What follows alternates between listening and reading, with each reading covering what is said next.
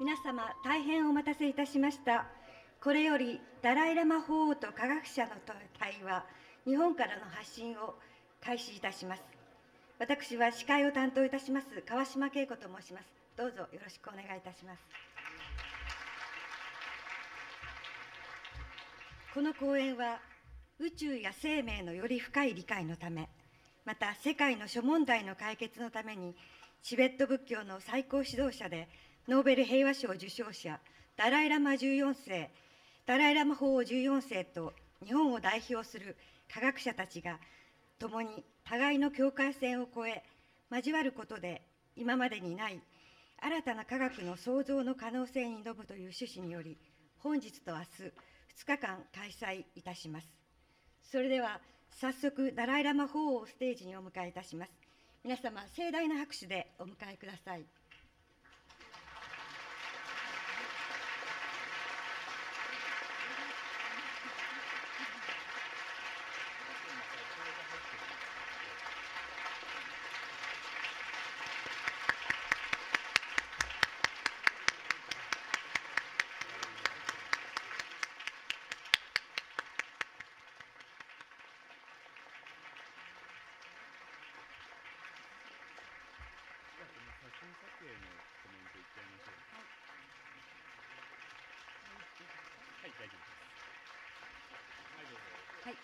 これより少しの時間、マスコミへの撮影タイムとさせていただきます。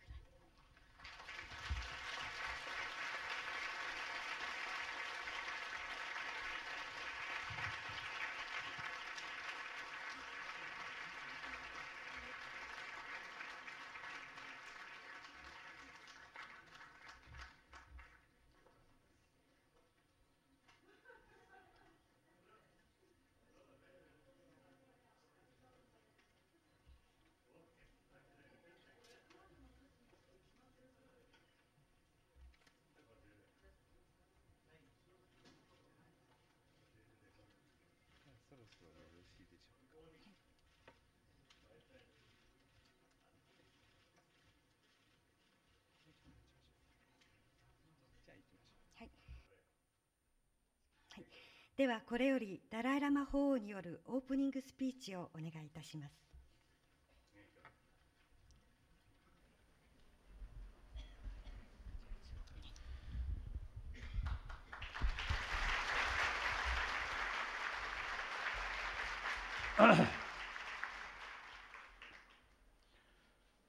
오늘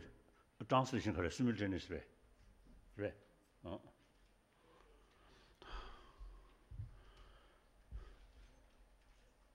respected uh, senior elder Buddhist brothers and sisters, as well as senior respected scientists and brothers and sisters.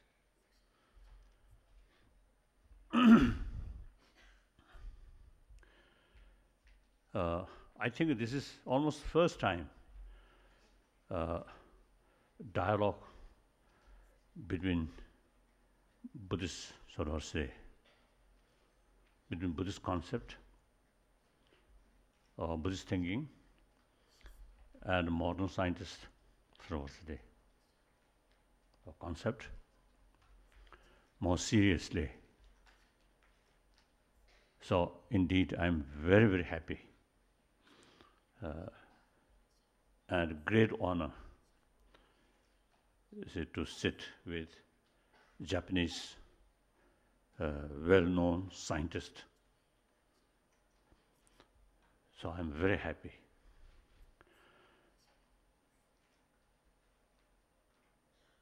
Now reason, uh,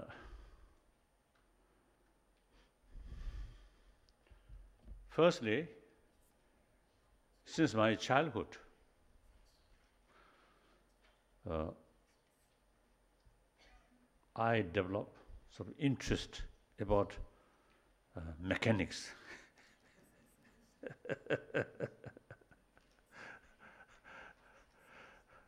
uh, actually, I think my first visit to Japan, perhaps I think 60, 1967 or something.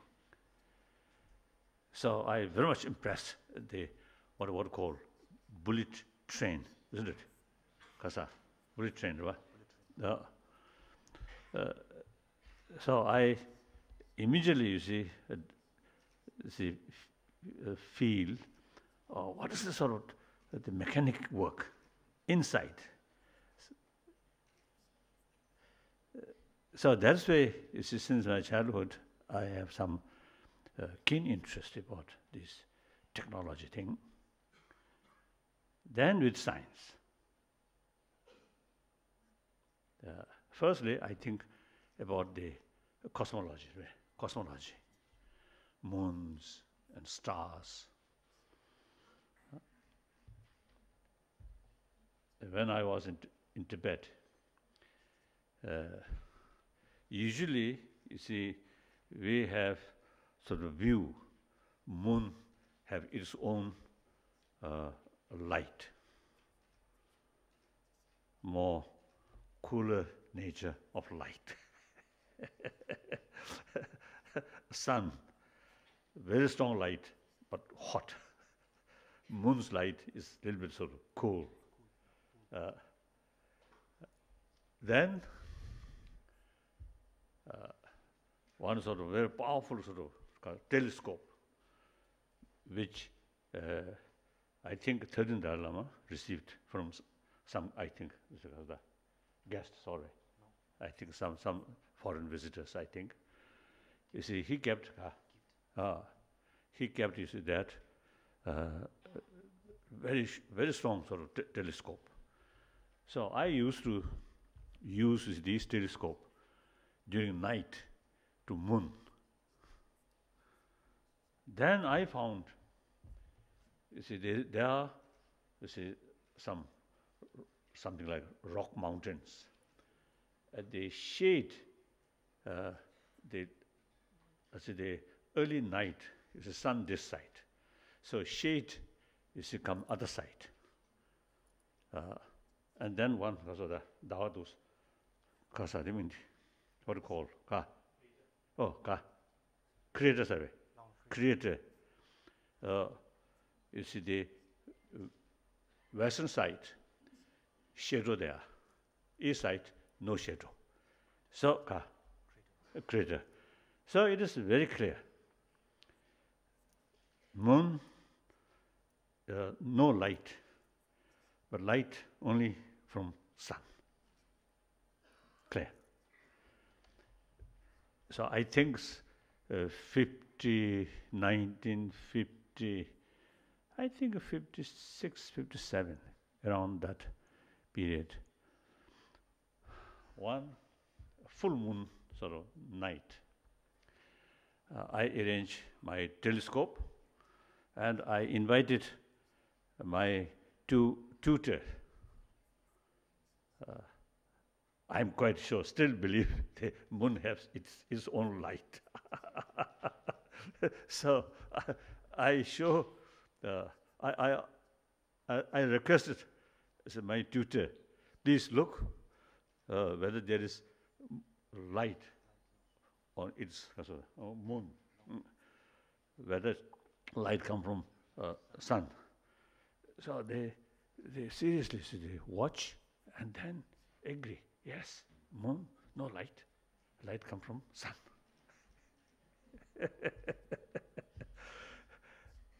so like that, you see, uh, I have a keen interest uh, about the scientific explanation about cosmology, these things.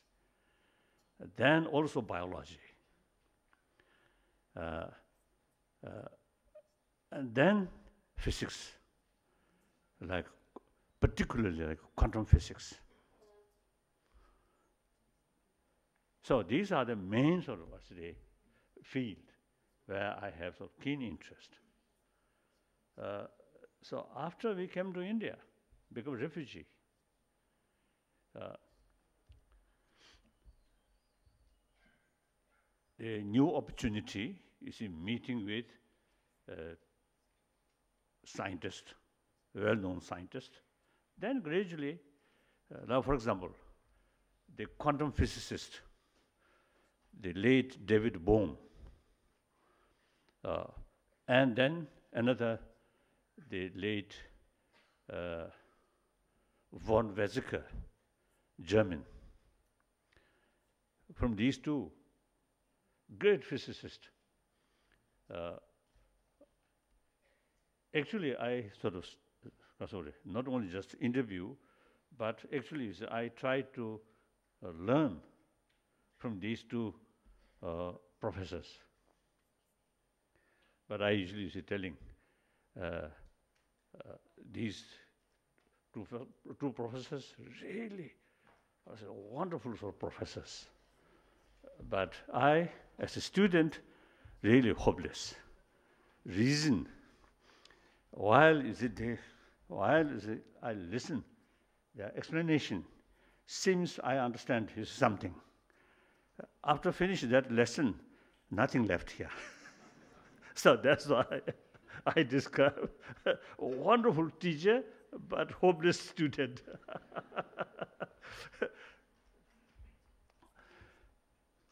so then, uh, uh, mainly, you see, my personal sort of curiosity is in meeting with scientists. Oh, wonderful. Uh, these scientists, some American, some German, some English, uh, some Indian, like that. They say, I found, oh, there is some kind of spirit of genuine internationalism. Don't concern about what, what nationality, what country. Everybody is focusing their own subject. And then these genuine scientists, their mind very open. Remain skepticism and then open mind. Very unbiased. They always look any subject objectively. So these are the factor which I consider develop attraction. Like that. So then, forty years ago, uh, uh, I think early, uh, early, I think sixty or early early seventies, I think. Uh, because see, I had see, I already have sort of serious sort of uh, interest about this, is the uh, modern science. So then, one American lady uh, who married with one Tibetan, uh, she a Buddhist, uh, following Tibetan Buddhist, Tibetan Buddhism. So I just express, or I want to have serious sort of discussion or dialogue with modern scientists. Then she responded to me, oh, be careful. Science is killer of religious faith. she give me warning. Then I thought, I thought, think, think, think, think again, again, again, again, again. Uh, then Buddhist tradition, particularly Nalanda tradition, is very much sort of, sort of emphasize the importance of skepticism uh, and investigate. Without skept- skepticism, uh, no question rise. No question, no investigation. No investigation, you can't find the reality. So, investigation, research is very essential in order to learn the reality, in order to know the reality. There's always a gap, appearance and reality. So if we just content on the basis of appearance, then we never reach the real reality. We must remain uh, skepticism and then investigate. That's the Nalanda tradition. Very much emphasis on that.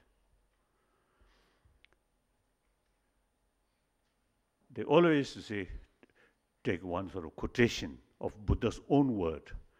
That is, you say, Buddha, say, Buddha state, O my follower, monks or scholars should not accept my teaching out of faith, out of devotion.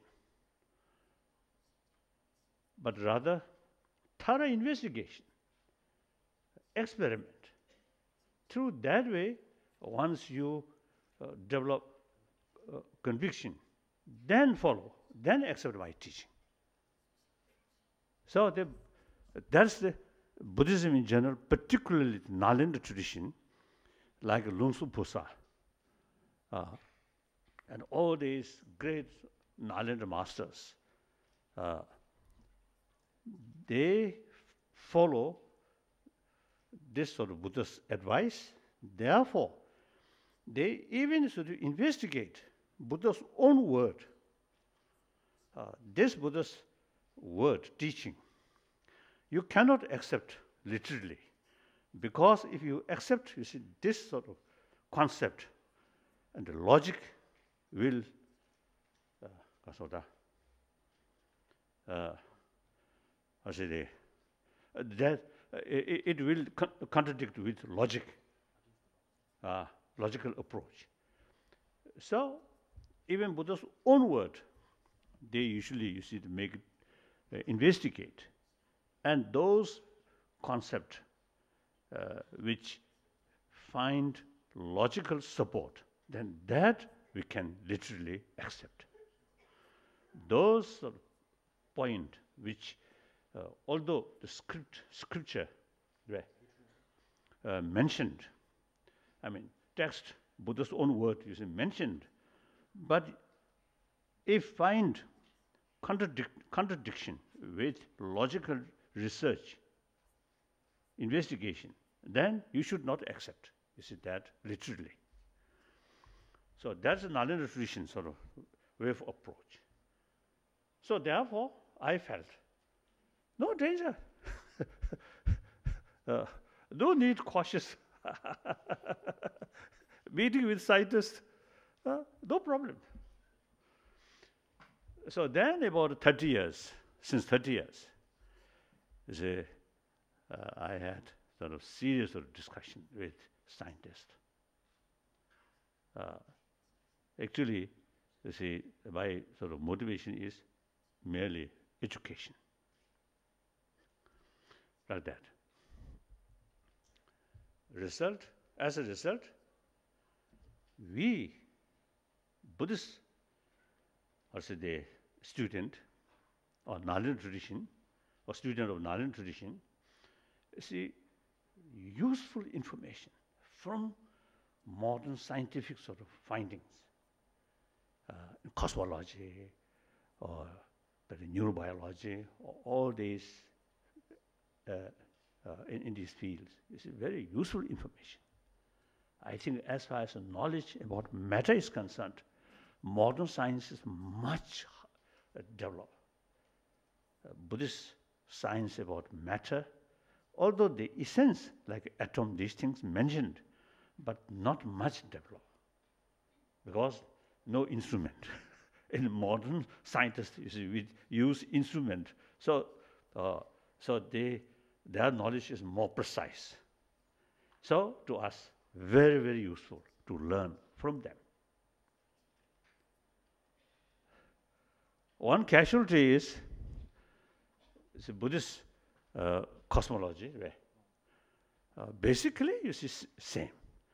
The, like Darwinian theory and also all the phenomena, all sort of Kata Kasurvana.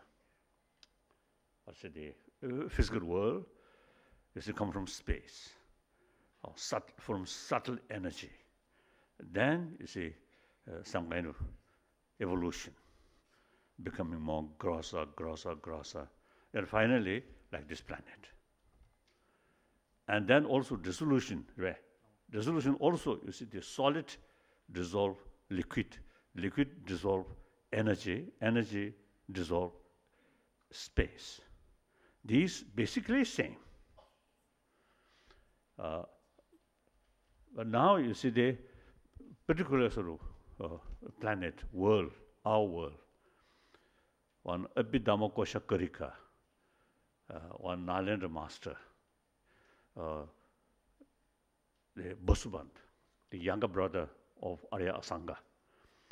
You see, in his writing, uh, mentioned flat, world flat, in the center, Mount Meru.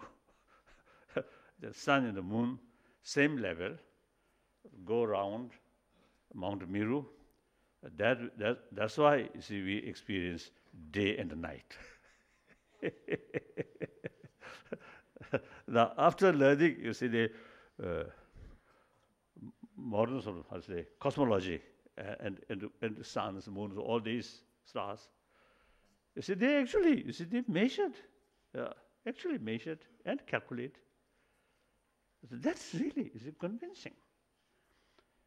Therefore, now I hope I still Buddhist monk, but no longer accept you see that kind of sort of description, Mount Meru. So that's one casualty as a result of uh, learning from scientific sort of explanation about world, about planet like that. Uh, so sometimes I you see telling Buddhist main purpose of coming Buddha, main purpose of appearance, uh, appearance, appearance of Buddha, not making map of this, this planet, but main purpose of Buddha come, come on, on, on this planet and his teaching is for noble truth. How to transform our mind. That's the main purpose description of this world, that's minor. Uh, if you see it goes against this scientific finding, no problem. Uh, like that. So, then, in inner world, or world of mind is concerned, Western psychology compare ancient Indian psychology, the Western psychology is like kindergarten's knowledge. Uh, so therefore, to the scientist, uh, the Asian sort of ancient Indian sort of psychology, particularly Buddhist psychology, right? Buddhist sort of science of mind, is immense help to modern scientists. And then also, you know, the brain specialist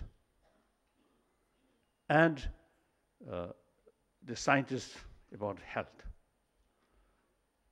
Now, in these two fields, more and more scientists now really showing genuine interest for medical science, for healthy body. Healthy mind is very, very essential.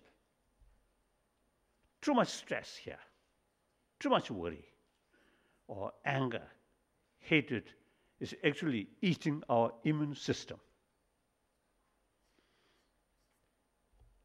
Other hand, more compassionate mind or sense of concern of others' well-being,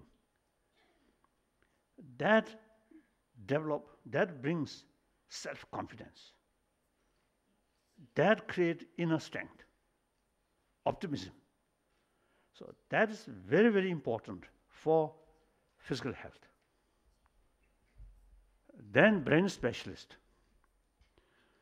Now their knowledge about brain, uh, I think uh, every I think every year you see they uh, developing, progressing. But still, there are a lot of mysterious things there. So then they begin to begin to show interest, the emotions, there is very clear link, brain movement and emotions. Sometimes, first, some sort of movement in brain, and then certain emotions come. Sometimes, just one thought comes and effect on. That's now obvious. in America, Wisconsin University, then Emory University, the Stanford University, then some other university. Uh, in India also some university. They actually, you see, they found uh, through training of mind or through sort of also the certain train uh, training and also uh, mindfulness. You see this actually you see change the brain plus kasa kasa six do plus kasa plus ka. What what called oh that one. That word i i can't pronounce. so actually now they saw that. See, through training of mind, you see, actually some effect on our brain. It actually now happened. So therefore, the brain specialist, like Richard Davidson, uh, Marve, uh, well-known scientist, neuroscientist, uh,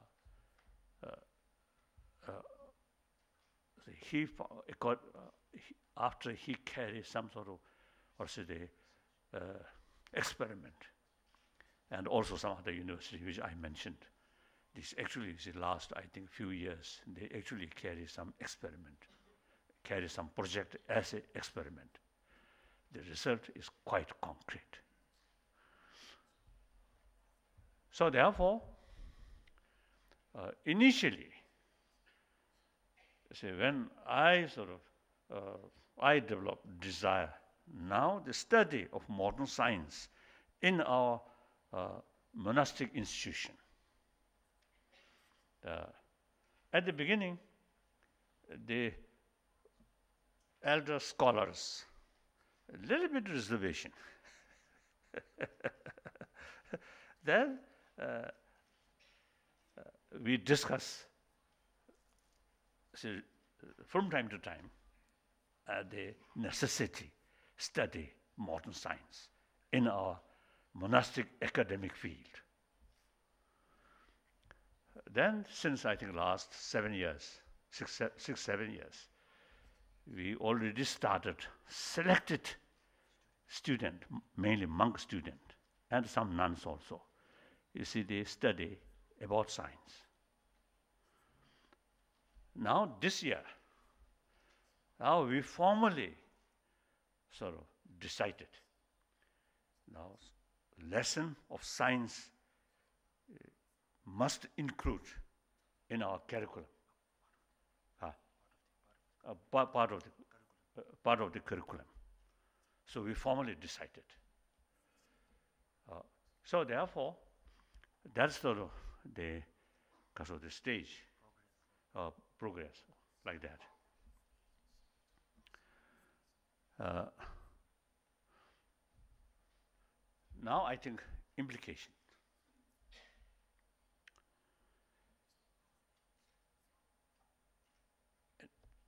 Two, two, two things. Hmm. One, uh, entirely academic uh, knowledge? Concern about academic and knowledge. Uh, modern science, uh, of course, come from West. So modern science is very much, I say, the, uh, sort of, very much sort of involved, as I mentioned earlier, physical, physical world, external, external things. Uh, so, obviously, day by day, we experience the feeling, experience. Uh, these feelings, experience, views cannot explain thoroughly, 100% by uh, neuron ray. Brain sort of movement. You can, you can learn some broad, but detail, very difficult to explain. One time, I think about, I think, uh, at the beginning of my sort of dialogue with some scientist, uh, some scientist is trying to know human brain uh, out of sort of observation of birds or animals of what's the movement.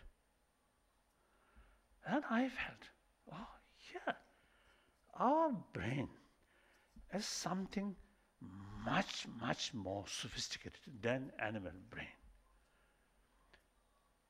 So trying to know human mind, examine on bird's brain.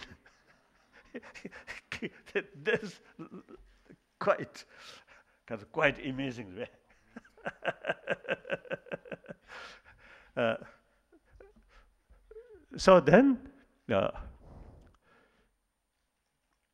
gradually, you see scientists, uh, dialogue with scientists, then they really very much sort of the, also the interested about the information about a variety of thought and the system of the emotions. So uh, they are very, very eager uh, bring more information about different variety of thought or emotion and how to deal with this emotion. So now, uh, uh, some university, as I mentioned earlier, already you see carry some uh, project. And then also you see uh, with also the, I mean, late Varela, great scientist, Chilean, great scientist, uh, and myself, you see, we start one small, or should I, kareda, uh, uh, group uh, that we call Mind life. Uh, so now, year by year, you see, that, this organization really now uh, becoming quite popular in America. just about three weeks ago. Right i think about i think about two weeks ago i think uh, we decided now you see these activities should cause of the uh, expand europe and asia in uh, india and some other and possibly japan taiwan like that. Uh, we already decided. So that's the uh, field. Now another field. Uh, 20th century, I mean, since uh, science developed, uh, uh, usually sometimes I used to telling this way, uh, last uh, over three, four thousand years, You see, people, whenever we face some problem, we always pray to God or to mysterious force. but then about 200 years, uh, science and technology develop. Then technology brings immediately what we want. last three, four thousand years, you see, we only pray, not very sure whether the goal which we want materialize or not through prayer, not very sure. but science and technology immediately bring result. So therefore, logically, you see, people pay more attention about science and technology rather than religious or say prayer. Religious prayer, I think every religion now gradually become like ritual or fashion, uh, like that. Uh, not much serious, isn't it? Uh, so that's the situation. Uh, but, but look, science, technology, wonderful in invention. Right? Uh, original sort of people who create these things, really good intention. Maybe some personal sort of curiosity, but basically good intention. But then, look, 20th century, according to some historian, around 200 millions of people killed through violence. Although war, violence is part of human history, but the destruction is much increased because of the technology, including nuclear weapon. You Japanese brothers, sisters, actually suffer from nuclear atom bomb. Hiroshima, Nagasaki. Terrible. So this technology or the science is something wrong? No, certainly not. Then question is, question is, the question or answer is, the user of science and technology, these marvelous inventions where innovation where innovation used for destructive. So nuclear weapon itself, nothing wrong. But we use this for destruction. So that related with here our mind. So therefore, uh, the 20th century, I usually call 20th century become century of violence, century of bloodshed. All the other part, lot of innovation, lot of development in the 20th century, last century. I think most important century of human history. But unfortunately, unfortunately, that century also becomes century of bloodshed, century of fear. I also you see, have some experience. When the East German and West Germany is there, East Germany, West Germany divided, and Berlin also divided. You see, few occasion, I think one occasion at least, one occasion, I have been very border the West, uh, West German, West Germany's border. I mean, uh, so when I sleep night, little concern or little fear. If something something happened, then the weapons, Warsaw Pact's weapon, uh, including some tactical nuclear weapon, ready to shoot to the West, West Germany. so if something happened, then I may survive or may not tomorrow. See, that kind of sort of fear, really. Then those German people on the border, or not only border, the whole Europe, is, remain constant fear. It's a human negative emotion, thousand years there. But this wonderful sorrow 가서 다 가서 가서 the technology of these things become disposal of negative emotion. So therefore uh now this 21st century i think the later part of 20th century i think people really fed up about violence. Like now, uh, now even today, I think Syria, how many innocent people killed without a purpose?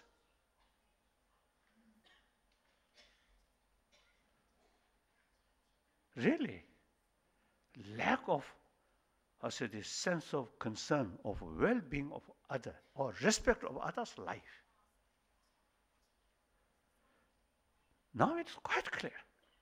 And global economic crisis, the ecology crisis, family problem. I think in Japan, uh, I heard, I, I was told, you see a lot of sort of suicide cases. I think first Sweden. I think Sweden, the social social welfare, what what call social welfare is concerned, very good. But the suicide rate quite high. Then Japan. Uh, why? Too much negative emotion, Ang anger. Uh, that anger, uh, sometimes anger himself or herself, and suicide. So that now, uh, So, so therefore, now we are really facing uh, problems. Uh, so these, tro- these problems can solve through technology, through science alone? No, certainly not, as I mentioned earlier. Uh, more technology, more destructive powerful, more suffering. So now, some kind of controller of these or say the scientific knowledge or technology turn for constructive is ultimately related here. So therefore, uh, that's one purpose. Now, time come. We must make more effort to make awareness about human compassion. which is all major religious traditions, also the main message, main practice. Uh, so uh, all major religious traditions have, I think, great potential. Uh, the secondly, uh, there are large number of non-believers also there. I think recently I was, I, I saw one article on, on, on newspaper in America. Uh, Uh, it mentioned about 30% of American uh, not much interest about religion. Uh, uh, so therefore, you see, we need some way, uh, some method to applicable, applicable to those non-believer. So I usually say the uh, secular ethics. Now here, the backbone of secular ethics is scientific finding. Warm-heartedness, healthy mind, healthy body. Healthy, with healthy mind, healthy family, healthy society. Uh, eventually, healthy humanity. So, so therefore, the, our scientific research another responsibility is uh, uh, to educate people through scientific basis, uh, on, on the scientific basis. Uh, the warm-heartedness is very useful for your own degrees of the life, including your physical health. So that's the now two purpose sort of dialogue. One, simply extend our knowledge in the economy field. And second, uh, out of our knowledge, how to educate people, how, how to transform our society, more compassionate society. So that's the main purpose. So now that's all. I think too long. Thank you.